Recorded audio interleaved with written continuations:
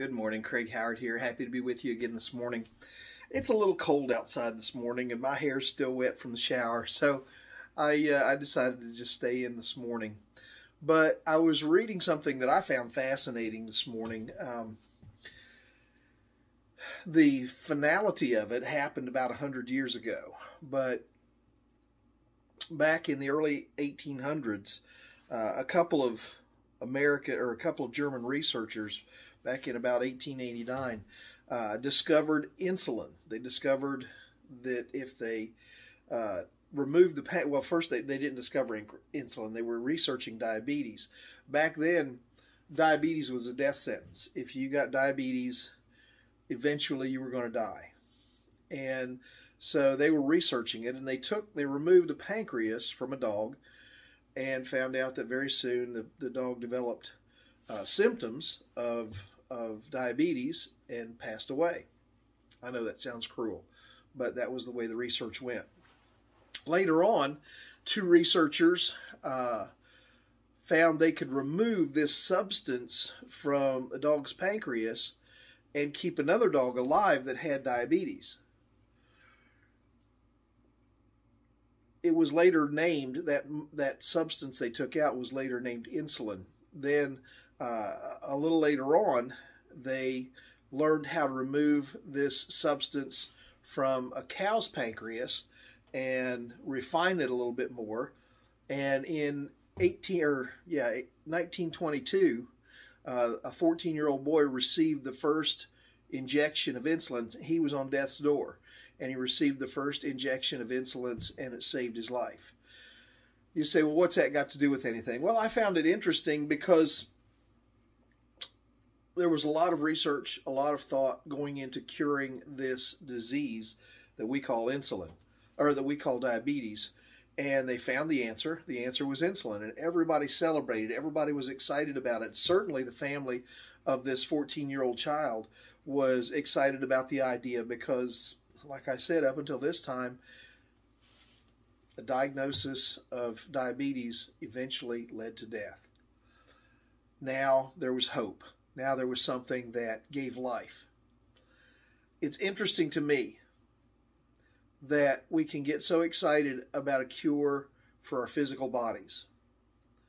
But when it comes to understanding that we all suffer from another form of disease, and that's the disease of sin. And it's just as deadly. In fact, it's more deadly because it can bring death for an eternity.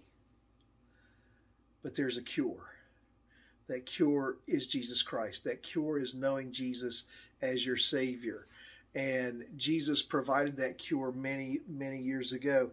In fact, he said, Jesus said in John chapter 5, verse 24, Very truly I tell you, whoever hears my words and believes him who sent me has eternal life and will not be judged, but has crossed over from death to life.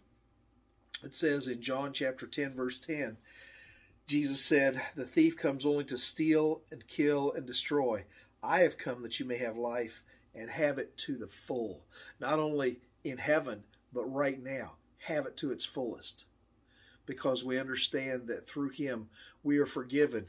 If, and I've seen this before, if I were diagnosed with cancer, the scourge of our time, and all of a sudden I walked into a doctor's office and the doctor said, the latest tests show that your cancer is gone. It would be a time of rejoicing. It would be a time of excitement.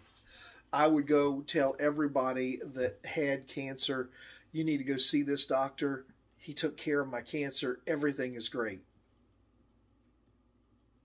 Or if I had cancer and somebody had come up with a new cure, an injection that I could take or a pill that I could take, and all of a sudden, as I take that pill or take that injection, the cancer was, it just went away. It just got rid of it. It was gone.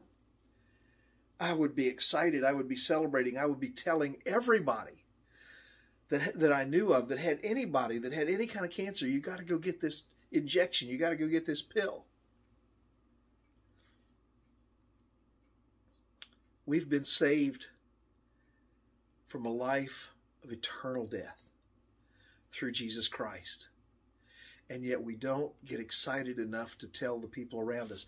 People don't see our excitement about our relationship with Christ and want to say, what, what, what do you have? What, what, what is it that has you so excited? We don't go around telling them you need Jesus. And we really should. It's part of who we are as part of the body of Christ. We have been saved from an eternal death. We should be sharing that news. Something to think about today.